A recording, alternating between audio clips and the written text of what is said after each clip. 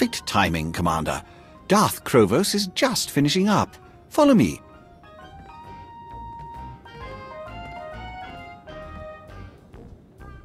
I can sense the strength in each and every one of you, the passion for victory, and the power to achieve it.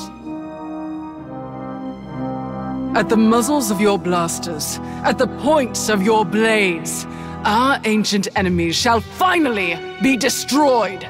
For the Empire!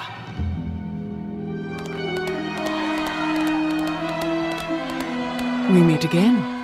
Zasha and her family send their regards. With your alliance fighting alongside the Empire, victory is within our grasp. Congratulations on joining the Dark Council. Thank you. I hope to serve our Empire as ably as you have. They're all yours.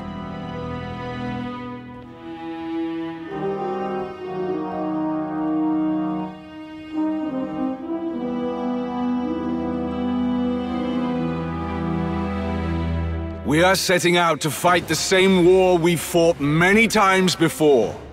But the outcome will be different. Because we are different. Like the most powerful predators, the Empire has grown, evolved, learned. We are not the same Empire our enemies faced in the past.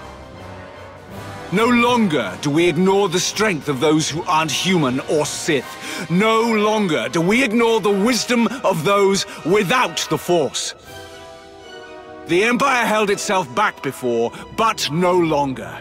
Now, the Republic will face the true strength of the Empire. Now, they will face you!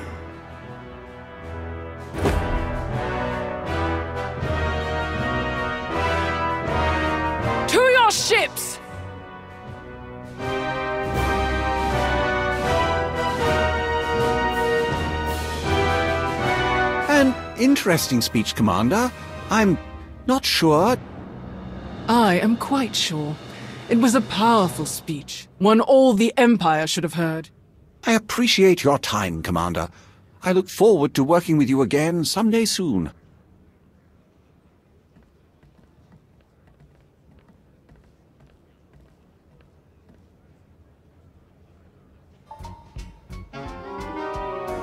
Effectively whipped up their fervor for victory, Commander. Excellent work.